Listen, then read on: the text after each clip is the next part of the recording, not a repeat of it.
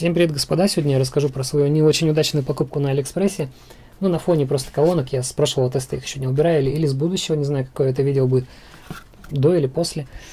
Есть, короче, канал «Вокруг стерео», вы все знаете, и он на сайте там и э, на, на канале тоже давно рекомендует такой усилитель для наушников Ayama A5. А-5.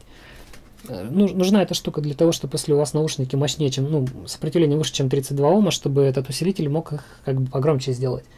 На встроенной звуковой карте не каждые наушники будут играть достаточно громко и при этом качественно. То есть, ну, важно не просто сделать громко, а чтобы еще при этом качество не потерялось. И по сути это как бы, я насколько понимаю, ЦАП, внешний ЦАП, который как бы внешняя звуковая карта с, для наушников, которая еще с регулировкой громкости с запасом.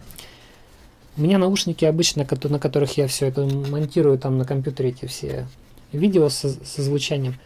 32-омные, их, им, в принципе, хватает той звуковой карты, какая у меня есть, то есть ему 0204 старая, такая, как у сталкера примерно. А, но на некоторые наушники, типа там 250-омные, допустим, АКГ 612, э, не хватает громкости у ему 0204. Ну, как бы только-только, там, хотелось бы погромче. Ну, и вообще хотелось бы что-то нового такого послушать. И, в общем, я посмотрев канал «Вокруг стерео», ну, точнее, вспомнив уже через год там, что был, был какой-то такой ЦАП, рекомендуемый, он до сих пор продается, на Алиэкспрессе стоит, он, по-моему, 1005, но я про это забыл. Я такой вот э, в прошлом году вспомнил, был какой-то ЦАП, может посмотреть, что он там, да, а что, за ЦАП такой на Алике. Зашел, а ЦАП этот, почему Александр его рекомендует? Потому что он говорит, что те компоненты, которые туда поставлены, какие-то там операционные усилители или чипы какие-то, они очень крутые в зарубеж, ну там в европейской технике, в американской. Никогда бы вы за 5000 такое не купили.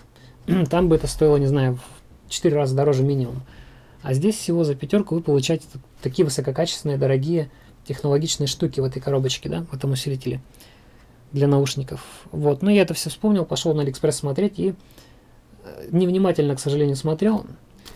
И смотрю, написано вроде Aiyima, вроде какой-то А что-то А там, да, ну и, и смотрю, цена вроде интересная, там 2500, думаю, о, нормально. Взял, купил.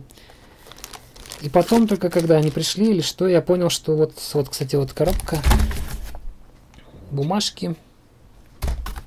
Короче, я понял, что я купил не то, что я лох. Потому что я купил Аяма, коробка. Я купил Аяма А2 вместо А5. А это совершенно другая вещь так как она в два раза дешевле, там вообще совсем все другое.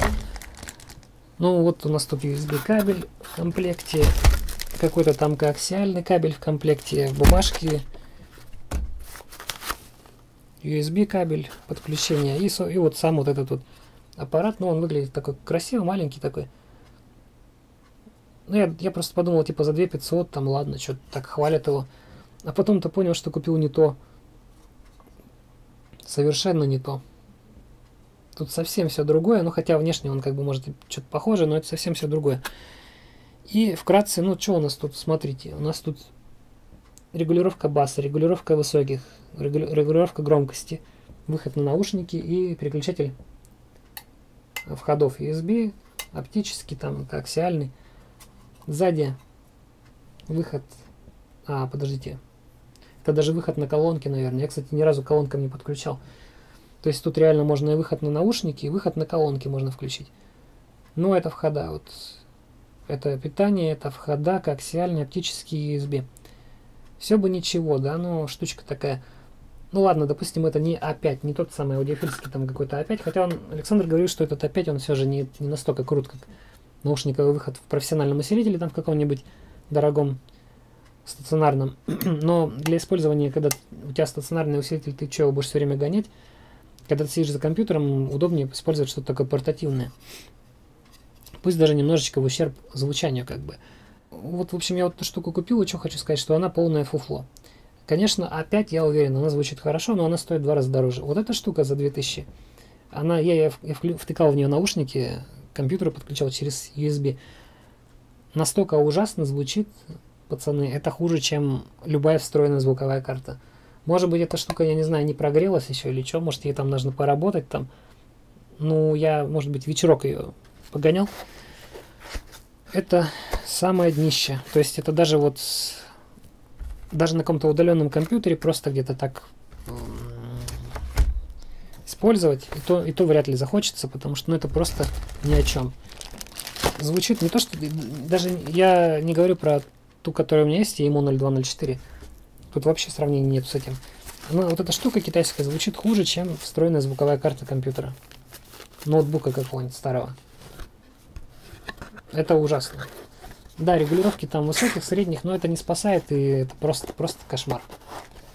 Поэтому такую штуку, я не знаю, для, если вот зачем ее вообще покупать, если можно просто купить звуковую карту, ну, обычную какую-то на компьютере, хотя бы так. Но здесь регулировка вот этих вот тем, тембров и громкости, однако звук, качество звука такое, что если где-то использовать такую фигню, то, ну, не знаю, бабушка попросила что-то, например, чтобы регулировать громкость на наушниках на своем компьютере. Вот типа такого. вот такой вариант еще прокатит. То есть бабушке или дедушке будет все равно, как оно звучит, скорее всего. А любому более-менее даже не обязательно быть каким-то там аудиофилом, это слушать невозможно. Так что покупайте, может быть, А5, но, но только не А2. А2 это капец.